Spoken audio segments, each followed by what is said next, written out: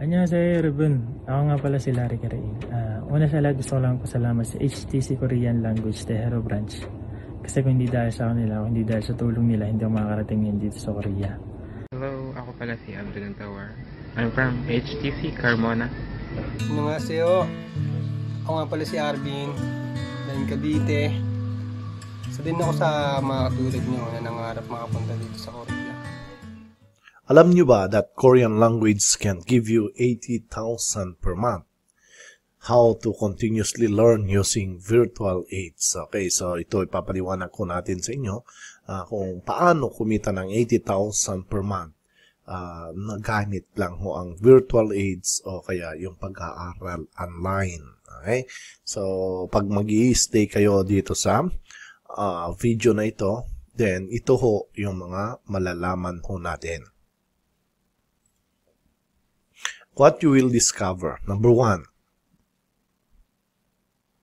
how to earn 80,000 pesos up to 120,000 pesos per month if you have the knowledge in Korean. Okay? So, yan ho yung una natin i-discuss. Then, proper way to apply in South Korea through the EPS topic. Okay? So, doon ho tayo kikita ng 80 to 120,000 per month. Then, we have the basic, intermediate, and advanced Korean language training. So, ito ho yung tatlong madidiscover ho ninyo sa pamamagitan ho ng virtual aid na ito. At kung kayo ho ay mag stay until the end, then uh, Korean language training na nagkakahalaga ho ng 5,000 pesos ay ibibigay ho namin sa inyo ng libre. Okay. So, please stay until the end para ho uh, matuto ho kayo ng Korean language training for free. So, for every crisis, there is an equal amount of opportunity. So, nagkaroon ho tayo ng pandemic which is the COVID-19, kaya kailangan pumunta ho tayo doon sa new normal na tinatawag. So, yung mga kinagisnan natin noon ay marahil hindi na natin magagawa in the new normal hanggat wala pa ho siyang bakuna for the pandemic. So, nagkakaroon ng equal opportunity or the amount of opportunity na sinasabi ho dito kasi ho, uh, when it comes to learning, kailangan mag-a-upgrade na rin ho tayo. So, dito ho makikita ko ninyo kung ano yung amount of opportunity na pwedeng mai offer ho namin sa inyo uh, pag nag-stay ho kayo dito sa webinar uh, webinar na ito. Okay? So it's a part of the new normal na hindi na ho pwedeng magkausap ng face to face. Pwede man ho siya but there's are many restriction, naka-face mask, etc. Then you have to sanitize everything and uh, nagiging maingat ho tayo. So, yan ha. So, number one is how to earn 80,000 pesos up to 120,000 pesos per month if you have the knowledge in Korean language. Paano nga ba kumita ng 80,000 pesos hanggang 120,000 pesos per month pag marunong ka ho ng Korean language? Okay? So, number one, uh, pwede pa rin ho tayong kumita ng mas mababa ng 80 to 120,000 pag kayo ho ay translator. So, marami hong nag uh, ha-hire ng translator pag marunong ko kayo magsalita ng Korean kasi napakaraming mga Koreano ho dito sa Pilipinas. So, nagbibigay ho sila ng 30,000 at the minimum rate uh, ng monthly salary. Okay? Then, we have the BPO or the call center. So, pag kayo ho ay call center agent, then nagkakaroon tayo ng minimum na salary of 40,000 per month. Then lastly is a factory worker in South Korea. Yan ho yung pinakamalaking pwede ho natin pagkakitaan ng 80,000 to 120,000 pag marunong ho tayo ng Korean language. So, para maabot ho natin yung 80,000 to 120,000 pesos per month, then kailangan alam nyo ho yung proper way to apply in South Korea through the EPS topic or tinatawag na Employment Permit System Test of Proficiency in Korean. Okay. So, bago ho natin pag-usapan ho yung paano mag-apply, then you should know your qualifications. So, ano ho ba yung mga qualifications para tayo ho ay matanggap bilang aplikante with the EPS topic? Okay, so ito ho yung mga sources. We have the www.eps.go.kr. It's a government website owned by the Korean government na pwede ho natin bisitahin para ho uh, makita ho natin yung legality ng program na ito. So, pag clinic ko yan, then, ang uh, ipapakita ho niya sa inyo is this one. Okay. So, pag na bisiti na ho ninyo to, pwede ho kayong pumunta sa members, procedure of employment, okay, nandyan ho siya. EPS test of proficiency in Korean, pag tinignan ho ninyo, there are the eligibilities, person aged between 18 to 39, person with no criminal record. So, nababasa na ho natin dito. Implementation of the EPS, EPS topic question, announcement of test passers, and others. So, nakikita na ho natin dyan. Then, if you will go to the job application, labor contract, primary training, and entry to South Korea. So, nandito na ho lahat sila. Now, another source na pwede ho natin tingnan is yung uh, www.poa.gov.ph. This is a Philippine government website owned by the POA. So, pag clinic ko natin siya, then dadalhin naman ho niya tayo doon sa website ng POEA. Okay. Okay. So, yan na. Makikita ko ninyo dito yung HRD Korea announcement, notice of method of, color blindness, etc. Special topic question. So, pag hindi ho ninyo mahanap ito, pag nasa website ho tayo ng POEA, okay, pag napasok na ho ninyo ito, pumunta lang ho kayo dito sa baba. Okay, so sa mga announcement, may makikita ho kayo dito about Korea EPS topic. Okay, nandyan ho yung mga um, news about the program or the EPS topic. Then, you can go down sa announcement pa rin ho dito sa part nito. Pindutin nyo lang ho yung EPS topic doon. Then, dadalhin niya kayo mismo doon sa part kung saan talagang pang EPS topic lang yung pinag-uusapan. So, yan yung dalawang uh, website na magpapatunay na yung employment permit system, test of proficiency in Korean, is uh, legal ho siya or matagal na ho siyang existing. So, sa pagkakaalam ko, ang unang implementation ng EPS topic since 2004 pa ho siya. So, nasa 16 years na ho na meron hong nag apply as a EPS topic or EPS worker papundang South Korea bilang factory worker at kumikita ho sila ng 80 to 120,000 per month. Depende ko doon sa overtime.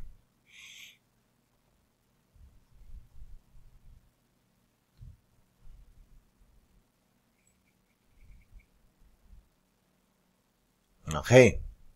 So next is these are the qualification. 18 to 36 years old. Male or female. Okay, so at least high school graduate with or without experience. No criminal records. Okay, so hindi ho nakaroon ng criminal records sa Pilipinas. No record of deportation from South Korea. Hindi ho kayo galing ng South Korea at napauwi ho sa Pilipinas. Physically fit to work and must be an EPS topic passer. Okay, yan ho yung mga qualification. And one thing na basic qualification is at least you have a passport. Pag gusto natin makalabas ng bansa, kailangan meron ho tayong pasaporte. So if you don't have any passport ngayon, then you should secure now kung gusto niyo mag-apply as a EPS topic uh, worker or the EPS worker for Korea. Okay, yan ho yung mga qualification. Then we will go to the process of application. Paano ba nag-apply? Unfortunately, uh, existing ho yung EPS topic na proseso pero hindi ho naipaliwanag, hindi ho nakita. Okay? Wala ho doon sa website ng PUA yung tamang proseso ng pag-apply. Okay? So maraming nalilito, maraming hindi nakakaalam. Kaya yun yung, yung naging dahilan para gawin ho namin itong uh, video na ito is to spread awareness okay, for the process of application. So ngayon, we will go to the process of application. Number one is yung application. Okay, so mag-apply ka. So, kagaya ko sa trabaho, then you should pass your resu- resume para ho makita kung sino yung nag-apply. Okay. Taga saan nga? And et cetera, et cetera, edad. So, yan ho yung uh, una. Dito naman ho sa application in the EPS topic through the POEA, then meron hong online service ho yung POEA. So, pag gusto ninyo mag-apply, kahit saan bansa ngayon, require na ho itong number one na ito. So, it's an online service by the POEA. Ito ho yung website or the link. Then, i-click-click nyo lang ho siya. Then, pupunta na ho kayo dito sa website na ito. Okay? So, parang gumagawa rin lang ho ng account. Okay? Ng parang, i- kailangan mo yung email address, then the password. Okay? So, halimbawa, magbubukas tayo nung na-register ho namin. Yan ho siya. Then, ganito ho yung itsura niya. So, you should have your passport. You should have your uh, picture.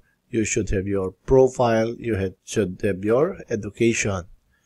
Then, on the dashboard itself, dito ho is my EBS topic application details, paid. Congratulations, you are now registered to for the APS topic. Wait for the your schedule of announcement. So, nandito rin ho yung mga announcement na iyan. Next. Okay, so, pag nakagawa na ho kayo dyan, uh, wait for the announcement of registration for exam. Ito ho yung pinakamahirap na part. Kasi ho, sa katunayan, wala kong nakakaalam kung kailan mag-a-announce yung POEA kung kailan magkakaroon ho ng exam. Usually ho, nagde-depend ho yan sa pangangailangan ng workers doon sa host country na Korea kung kailan magpapa-exam ang bawat bansa na nagpapadala ng worker. Okay? Noong unang mga panahon, uh, I remember 2015, nagkaroon ng twice na examination. Noong 2016, meron rin ho atang twice na examination.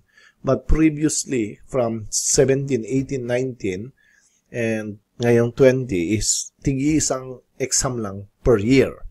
Okay? So bakit ko sinabi na mahirap mag ito yung pinakamahirap na part. Kasi ho, wala nga hong nakakalam. So, bigla na lang ho nag-a-announce yung POA. Halimbawa, bukas mag-announce yung POA.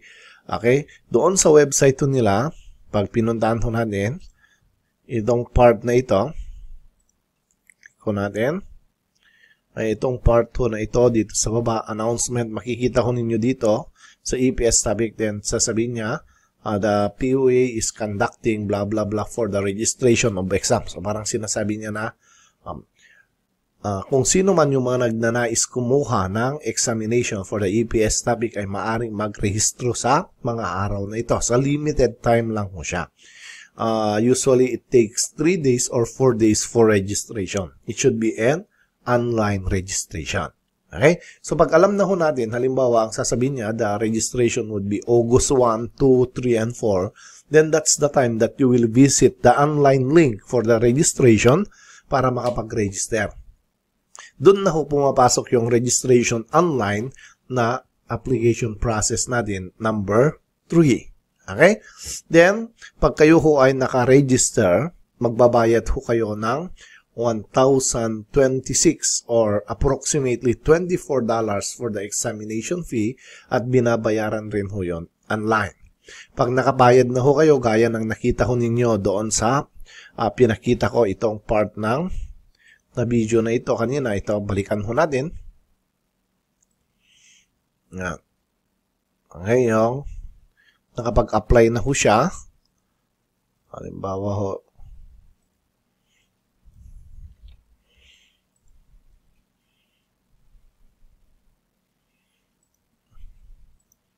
Yan, halimbawa ho ito. Yan, makikita ko ninyo yung application status is paid. Congratulations, you are now registered for the EBS traffic plate.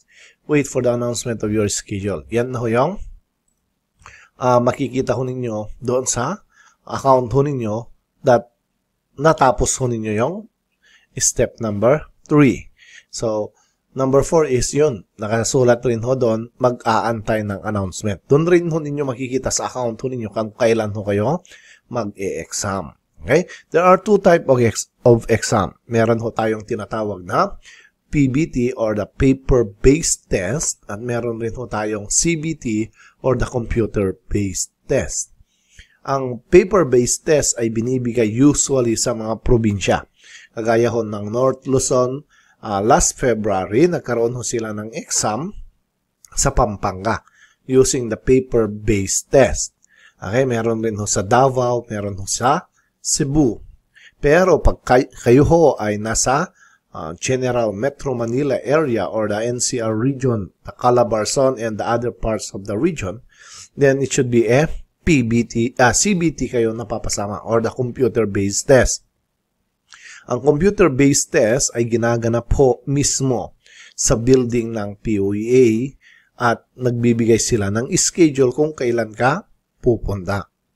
Okay? So, yan ho yung number 5. Okay? So, examination date round 1. Language exam ho siya.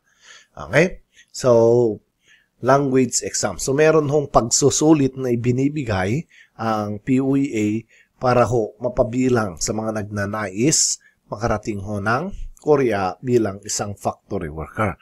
Kailangan pumasa ho kayo doon sa exam. So, pag pumasa ho kayo doon sa first round, then, i-announce ho yung pangalan ho ninyo. Sa website rin ho ng POE, makikita ho ninyo doon that you have passed the round 1. Then, doon pumapasok ho yung number 7 or the examination date round 2 which is the skills test. Okay, ang examination day, day uh, round 2 ay binibigay lamang ho doon sa mga passers of the round 1. So, hindi pwedeng round 2 ka na agad. So, ang skills test naman ay is a physical exam and a language exam through communication. So, halimbawa ho, it's a command or you will introduce yourself in Korean. Then, they will command you in Korean. Then, kailangan masundan mo siya. The same time, uh, may mga tools na papagawa ko sa inyo. Halimbawa, yung bolts and nuts, tinitingnan ko nila yung um, flexibility of your motor skill para gumawa ng paglalagay ng bolt, pagtatanggal ng bolt, pagsasabit ng ring. So, ganun ho yung round 2. So, kailangan ipasa mo rin ho yun. Pag nakapasa ka ng round 1 and round 2, then that's the time na maaantay mo yung pangalan mo sa final list of passers sa number 8 na ho tayo. Kung kayo ho ay pinalad doon sa final list of passers, then that's the time na doon pa lang ho kayo magpapa-medical. Okay?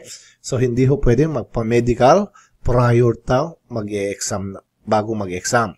Okay? So, bago ho kayo mag-exam, para hindi ho masayang, kailangan alam ho ninyo na physically fit na ho kayo. So, usually, ang ayaw ko, hindi ho nakakarating ng Korea na may medical problems is yung may sakit sa dugo or yung HEPA. Okay? The next is yung STD or the sexually transmitted disease. Hindi rin ho pwede yun. Finger amputation. Hindi rin ho pwede yun. Yung may kulang ho na or may putol ng mga part ng daliri. The next is yung color blindness. Hindi rin ho pwede ang color blind. Okay?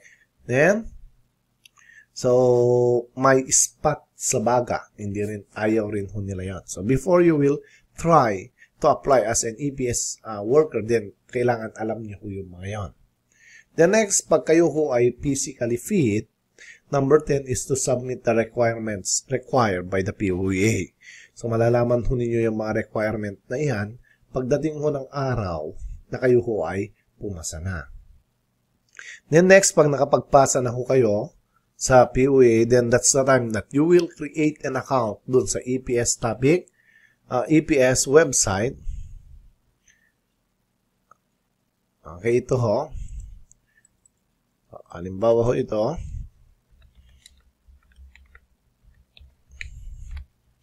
Yan.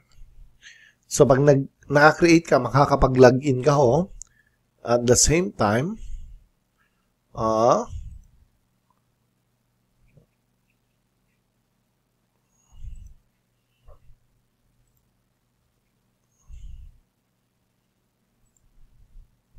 Okay, so pag naka-create ka na ho ng account dito, makakapag-login ka, then you should know your uh, mamumonitor mo ho yung account mo na ito. So, yung immigration process, makikita mo kung kailan ka pumasa sa exam, kailan naipadala yung pangalan mo sa Korea, kailan naaprubahan yung uh, papel mo, then kailan ka na-issuean ng permit to work, kailan ka mag-co-contract uh, signed, then kailan ka mabibigyan ng visa at kung kailan ka nakarating ng Korea. So, dito ho.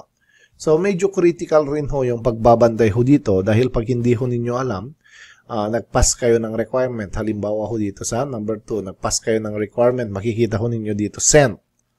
Then, dito pala is returned, tapos hindi mo nakita, hindi mo na bantayan, may problema pala yung mga sinend mo, then nasasayang mo yung application. So, kailangan ho alam nyo rin to monitor your account para hindi ho masayang. Usually, yan ho yung mga nagiging dahilan ng iba na nade-delay, tumatagal, kasi nga, hindi ho nila alam kung how to monitor their account. Nag-send pala sila ng uh, application, tapos may mga mali pala, pangit yung naipasang scan ng passport, pangit yung picture, hindi ma-determine. Then, imbes na approve ang nakalagay dito, ang nakalagay is returned, tapos hindi niya alam, then sayang, hindi na uusad yung ating uh, application. Kaya kailangan ho, alam nyo rin ho, to, uh, how to monitor your account. Ngayon, pag namomonitor na ho ninyo yung account, then these are the cost to worker na kailangan ho ninyong paghandaan. Okay? So, hindi ho siya libre. Test of proficiency, yung pag mag exam ho kayo, ito ho, $24 or its peso equivalent. Then, these are the um, uh, cost na magagamit ho ninyo. Preliminary training, magkakaroon ho kayo ng 45-hour refresher course of Korean, EPS orientation, remedical, clearance, POA processing. So, hindi naman ho siya biglaan na ibibigay ho natin agad. Kundi, uh, step by step na babayaran ho ninyo along your application. At ang cost ng yan is approximately 40 to 50,000. Okay? Yung iba, pag matipid, mga 30 to 40,000 lang yung nagagastos nila. So, depende ho. Depende doon sa sitwasyon na kayo ho ay aalis. Ang nagpapamahal ho kasi dyan is yung plane or the airfare. Kasi pag season na mahal yung uh, airfare, then that's the time na tumataas yung gastos. Okay? So, yun ho yung mga cost worker.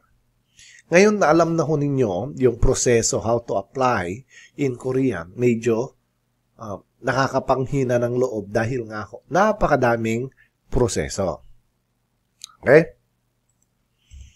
Tapos, maririnig ho ninyo yung exam. So, pag nakarinig ko tayo ng exam, medyo question mark, exclamation, at number, at yun yung mga lumalabas sa utak ko natin. Kasi nga, uh, ayaw ho natin yung nag-aaral, okay, nag-exam. Gusto natin yung pag nag-apply ho tayo sa abroad is magpapasa lang ho ng requirements, tapos i-hire ka na. Then, hindi ho uubra using the EPS uh, program. Kailangan ho pumasa doon sa exam. Kaya ho, kung gusto ho ninyong makarating ho ng Korea, then that's the time. Doon pumapasok ho yung scene na kailangan mag-aral ho kayo ng Korean language. Okay? So, kailangan mag-aral ng Korean language habang nag-aantay, habang nag-proseso at hindi pa dumadating yung announcement na kayo ho ay mag-a-apply for the exam. Okay, so habang wala pa, then that's the time na magde-decide ho kayo pa, kung paano kayo mag-aaral ng Korean language. So, there are three choice to prepare for the exam. Okay? Meron ho tayong tatlong choice to prepare for the exam. So, ito ho, ibibigay ko yung mga choices depending on the uh, pangangailangan ho ninyo, depending on the how tight your budget is. Uh, okay, so, uh, depending on your schedule and your prefabilities, yun ho yung uh, mga kailangan i-consider para ho maka-prepare for the exam. Okay. So, number one is self-study. Okay, so self-study ang kauna-unahang pwede nyo gawin. Kasi ho, bukod sa flexible ka, ito ho ay libre. Okay, kasi nga, kayo lang mo yung mag-aaral. Okay, hindi naman ho nag-designate si PUEA na kailangan mag-aral kayo sa ganito, mag-aral kayo sa ganito. Wala ho. Marami hong Pilipino na nakarating ho sa South Korea na nag-self-study lamang. Okay? Marami ho. Kahit magtanong-tanong ho kayo, pumunta ho kayo doon sa group page ng um, mga EPS. Type nyo lang ho sa Facebook, EPS topic. Maraming lalabas dyan. Sumali kayo sa mga group, magtanong-tanong kayo. Then the first thing that they will recommend to you, even the POEA, is to self-study. Okay? Kasi ho, natural ho sa atin na matuto ho tayo ng sarili lang ho natin. Marami hong materials dyan. Doon sa mga groups, marami silang binibigay ng mga links kung saan ho tayo pwedeng mag-aral. Okay? So, yan ho yung self-study. Pero, pag self-study ka, kailangan alam mo yung unang pinag-usapan natin, yung process of proper way to apply. Ikaw lahat ang gagawa nun from step 1 hanggang step na ikayo ho ay makaalis. Yun ho yung kailangan yung gawin pag self-study. Okay ho? Kasi nga ho, kayo lang. Okay, wala hong ibang tutulong sa inyo kundi sarili nyo lang din ho. So, pag hindi uubra yung self-study, uh, sasabihin mo, hindi ko kaya na mag ganito, magsimula. Then, there is another choice na pwede ho ninyo subukan. Yung TESDA. Okay? Ang TESDA naman ay nagbibigay ho ng libreng uh, Korean language training sa Taguig. Okay? So, libre ho siya. It's a government facility. It's a government uh, program, then nagbibigay rin ho sila ng libreng pag-aaral. So, pag gusto ninyo sa TESTA, then you should apply, mag-ask ho kayo sa TESTA kung kailan yung schedule, magpa-schedule kayo, magpa-screen kayo, then pag na-qualify ho kayo, then itre-train ho nila kayo for uh, Korean language. Okay? Pero usually, pag nag-aral ho kayo sa TESDA, kailangan pa rin alam nyo yung step 1 hanggang step 9 dahil hindi naman ho totally tutulungan ka ng TESDA para gawin ho lahat yon. So, a part of it is, ang gagawin mo is mag-register online pa rin doon sa napag-usapan ho natin yung how to apply. Gagawin mo lahat ho yun kahit nag-aral ka na ho sa TESDA. Okay? So, pag hindi pa rin ho uupra, dyan ho pumapasok yung last choice ho natin. Ang last choice ho natin ay mga language center. Okay? Mga language center. Pare-parehas lang ho ang langa language center na yan kung pare-parehas ho yung tinuturo. Kung language center for Korean, pare-parehas ho yan. Wala hong pagkakaiba. Korean ho yung ituturo. Ang, ang nag uh, didistinguish lang na barrier sa kanila or edge sa kanila is yung facility, yung programs, at yung mga teachers. Okay?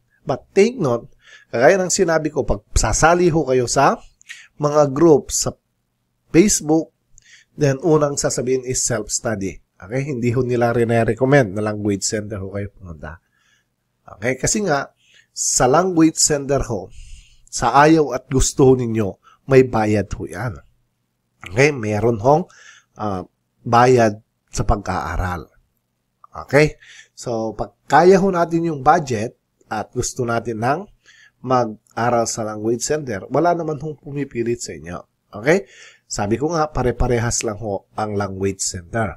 Okay? Wala hong magaling, wala hong mas magaling. Parehas lang ho yan na magagaling.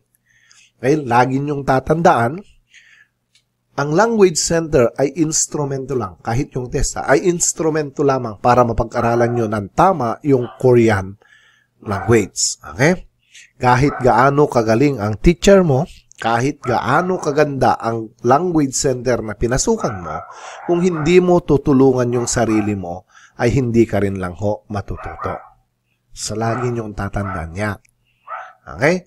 So, ang language center is your last choice. At sabi ko nga, pare-parehas lang yan. So, pag pinili nyo naman ho yung language center, ang nagiging uh, advantage nila sa self-study at saka sa TESDA is they are willing to help you to apply doon sa step 1 hanggang step 9. Sila ang gagawa ng i-registration mo, sila ang mag-aabang ng announcement for the exam, sila ang magre-register sa inyo online for the exam, sasamahan kanila sa uh, venue during the exam. So, kanya-kanyang pakuluhuyan ng language center. Okay? So, yan ho pumapasok yung language center. So, pag gusto ninyo ng may assistance at the same time, ang pro-problemahin nyo na lang ho ay yung pag-aaral, then, why not choose a language center pag may budget naman? Pag walang budget, wag pilitin. Diba? So, yan. Last choice ho yung language center. Okay. So, nabuboring na siguro kayo ang kanonood. Pero, pag kayo ho ay nag-stay until the end ng aking explanation, then, bibigyan ko kayo ng Korean language training na ang value is 5,000 for free. Okay, gusto nyo ba yon? So, pag gusto natin yon, then we will proceed para uh, malaman ho ninyo kung paano magkapag-aral ng Korean language training for free. Okay, so number three is the basic, intermediate, and advanced Korean language training. Ito ho yung isang pagkakaiba ng mga language center. May mga language center that they are limited only on the basic learning. There are language centers that they offer a basic and intermediate learning. There are also a, a language centers that offers advanced or basic, intermediate, and the advanced language training. Okay, so pag basic, marunong ka lang bumasa. Pag intermediate, then you should know how to uh, determine the structure of a sentence. Then if you have an advanced Korean language training, then you should able to construct and communicate properly using the language. Okay? So, yun yung pagkakaiba ng mga uh, uh, system na yan. So, ako nga pala ho si Greg ng HTC Korean Language Review Center na itinatag noong 2013. Ang main office ho namin ay matatagpuan ho sa General Trias, Cavite. Ang office ho namin ay matatagpuan sa Manggahan General Trias, Cavite. We have another branch in Carmona, Cavite. We have another branch in Santa Rosa, Laguna. We have a branch in Dagupan, Pangasinan. And we have in Sorsogon City, Sorsogon. Okay? Then we are duly registered to the Security and Exchange Commission as a company, HTC Information Technology Development Center Incorporated. We are registered in a business under the General Trias City. We have duly registered in VIR. We are paying taxes for our um, classes. Okay? So, yan ho yung HTC. So, in case na gusto nyong matuto ng Korean language at naghahanap po kayo ng language center na uh, pwedeng tumulong ho sa inyo, then kami ho ay handang tumulong ho sa inyo kung pagkakatiwalaan ho ninyo yung HTC. Ang HTC ay subok na.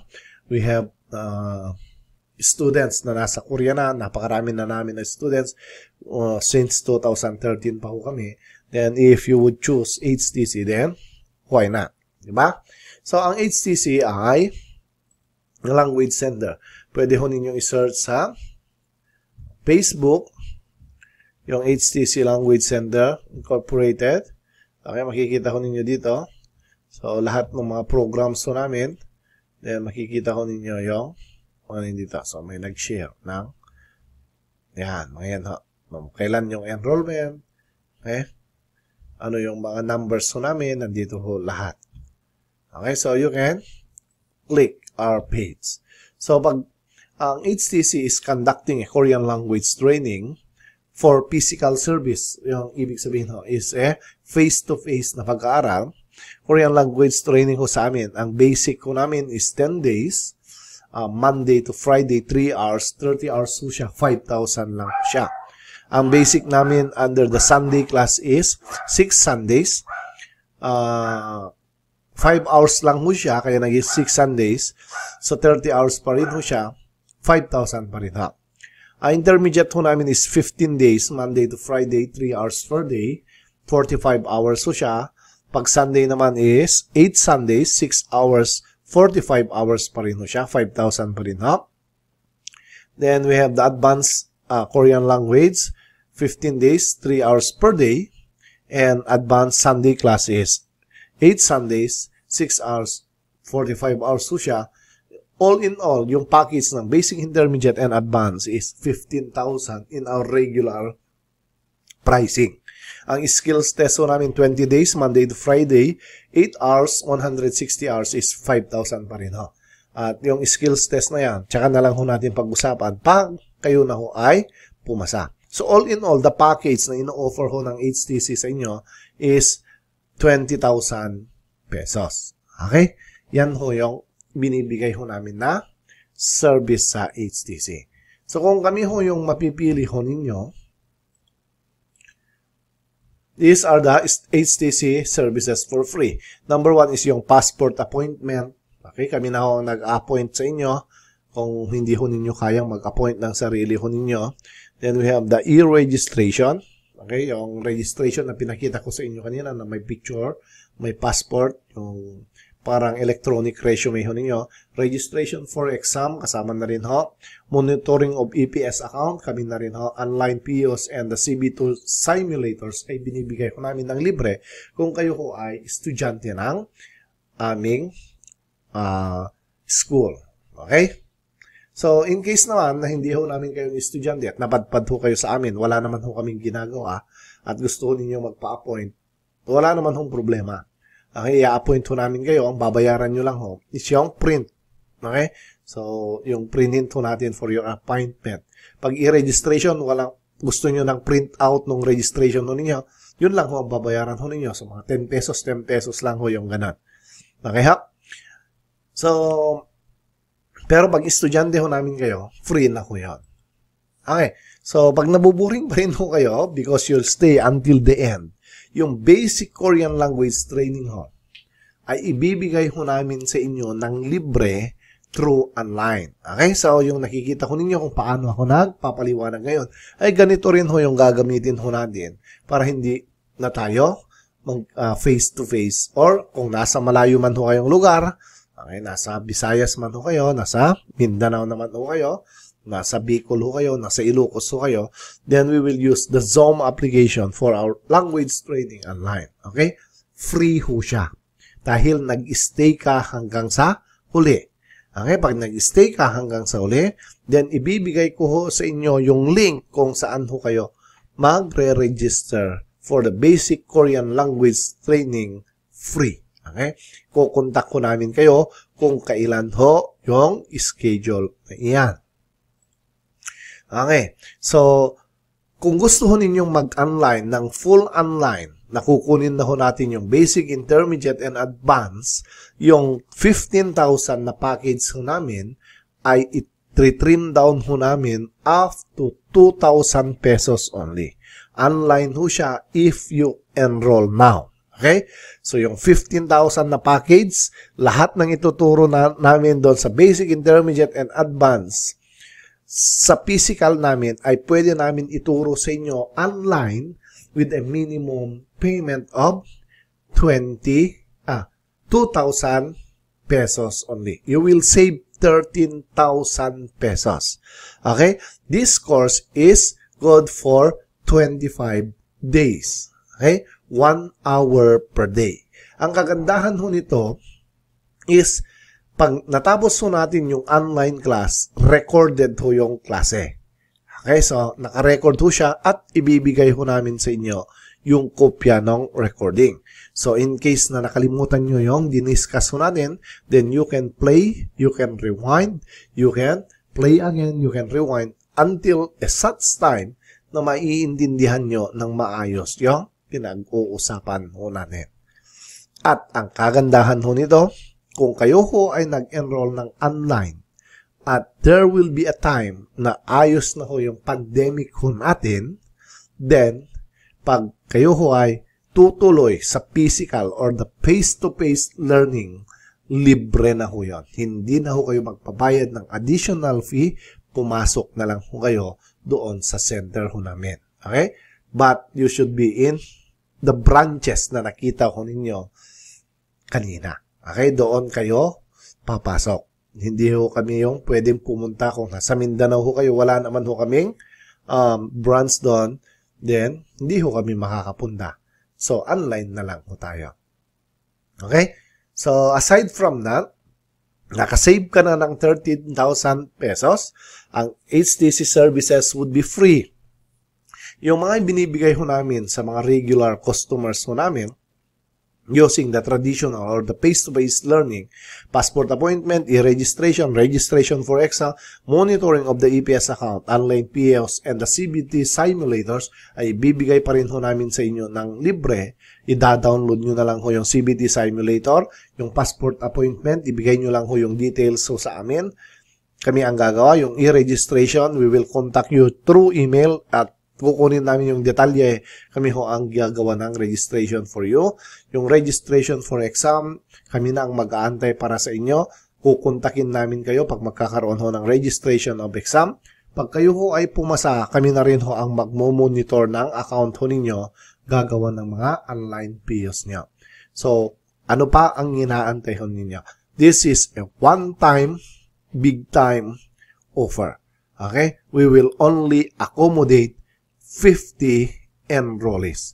So if you want to enroll now, then you will click the link na nasa description ng video ito at doon ho kayo magre-register and we will proceed with the uh, payments. Okay? So ang payment ho namin is through GCash, Cebuana, Palawan, M. Lolier, Security Bank, or BDO. So ang binabayaran lang ho ninyo dito is yung 2,000. Basic, Intermediate, and Advanced class ang ibibigay ho namin sa inyo. Okay? So, sa mga nakarating ho dito na hindi ho mag-enroll at i-avail ho yung uh, free na language which is the basic class is isa-separate ho namin kayo ng klase. Okay, yung 2,000 na ito is for the third uh, for the students that will be at the basic, advanced and in uh, intermediate and advanced class only. Okay? Yung mga uh, free, uh, ibang classroom yung gagamitin ho natin. True online pa rin. So, meron rin ho kayo makikita ang the link below para mag-register for the free basic class. And the other link would be to register on the basic, intermediate, and advanced Korean language. Okay? So, to prove that uh, HTC is existing and HTC has uh, helped any many uh, applicants, then there are videos na ipapakita ko sa inyo as a testimonial of our students. Okay? So we have three videos. Then we have the uh, testimony na naka-feature ho doon sa page ho namin yung mga kwento ng mga uh, uh, estudyante namin na nakarating ho sa Korea. Okay? So, what are you waiting for? This is a one-time big time. You will save 13,000 pesos. The program na ibibigay ho namin sa inyo. Same as the program that we are doing in the physical uh, learning ay ibibigay ho namin sa inyo online for 2,000 only. Okay? If you enroll now, for the first 50, 50 lang ho ang bibigyan namin ng pribilehyo ng online class na ito. Then after that, wala na ho. Okay? 50 enrollees only for online services. Okay? So what are you waiting for? Watch the video and at the end of this video, at the end of this uh, video, yung mga testimonials, yung mga uh, stories, then there would be a link there na makikita ko ninyo para sa free and para sa package na basic, intermediate, and advance. Okay? So what are you waiting for? Grab now. And thank you for staying with me.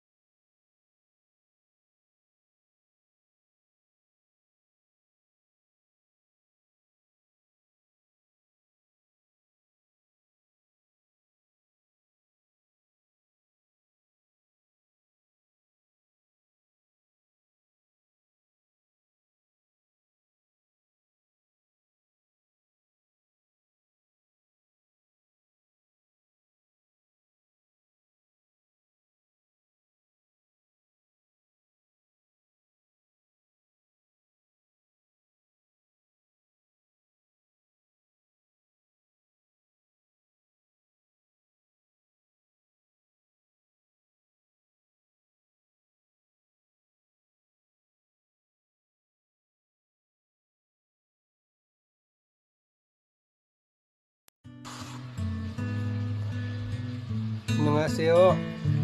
Ako nga pala si Arvin. Dahil Cavite. Isa din ako sa mga katulad nyo na nangarap makapunta dito sa Korea. Sa Pilipinas, trabaho ko dati dyan, mall designer. Halos tatlong taon din ako mahigit dyan. Hanggang sa napagtanto ko, walang napupuntahan yung pera. So, siguro break time nun. Napadaan sa feed ko si HTC. Tapos nakita ko ang laki ng sauran. Papunta ng Korea, 100, 90k.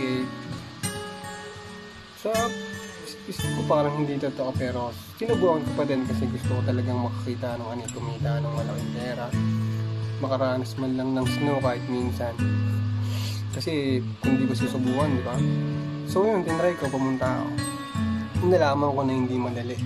Hindi madaling makapunta agad-agad ng Korea kailangan mo mag-exam. Dalawang exam isang written isang isang tawag dito isang ano skill test. So si HTC naman hindi ka naman nila pababayaan eh. swerte nga ako dyan ako napunta kasi tinutukan nila ako dyan. Kahit sa CBT ako napunta kasi noon so lahat kami pinapractice kami araw-araw. So pagka pagka uwi ko galing trabaho dinidiretso ako ng HTC nagpa-practice ako ng ano CBT exam, hindi nila ako pinabayaan dyan. Araw-araw ako pinuntahan ko yan. Tapos, pinursige ko, syempre, ginusto ko yun. Hanggang sa yun, araw ng exam, hindi naman ako na blanco kasi yun na, ni-ready ako ng HTC eh. Tapos, pagdating naman ng ano, skill test, tutok pa din, tututuan ka pa rin HTC hanggang sa pagdating ng skill test, hindi ka, hindi ka mablangko.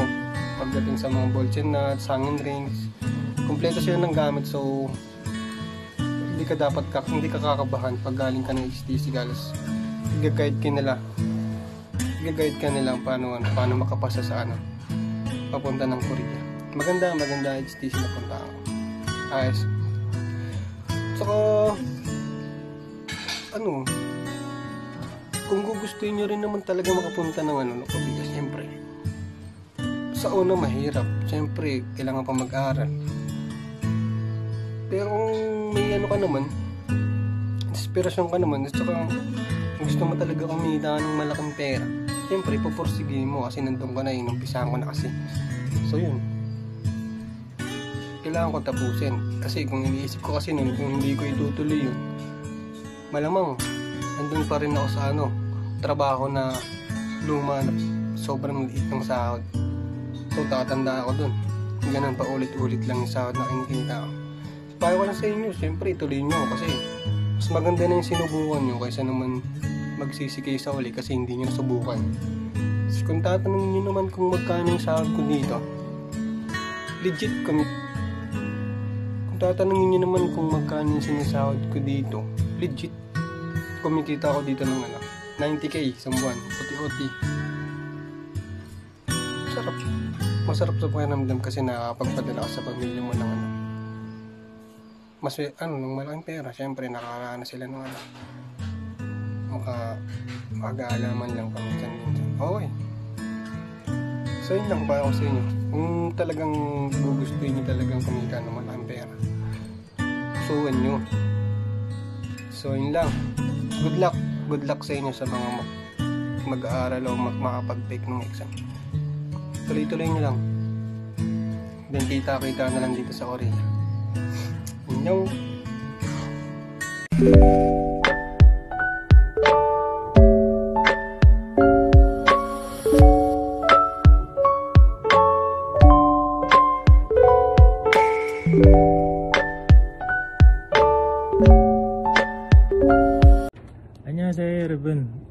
pala si Larry Karain. Ah, una sa lahat gusto ko lang pasalamat sa HTC Korean Language Tehero Branch. Kasi kung hindi dahil sa kanila, kung hindi dahil sa tulong nila, hindi ako makakarating ngayon dito sa Korea. Ah, isa akong factory worker dito ngayon sa Korea. Ang ginagawa namin is nagpipintura kami ng parts ng mga kotse. Ah, sa Pilipinas, isa akong working student. Ah, pinagsasabay ko ang pagtatrabaho at pag-aaral third year college ako naisip ko mag-aral ng Korean language. Ah, sa una, hindi siya madali. Mahirap, sobra. Kasi pinagsabay ko yung tatlo, ang pag-aaral ng college, pagtatrabaho, at pag-aaral ng Korean language. Pero sa tulong ni HTC, um, natulungan niya ako makapag-aral at mapadali yung pag-aaral ko ng Korean language. Um, year 2018, nag-exam ako So, thankful naman ako kasi nakapasa ako sa exam na yon.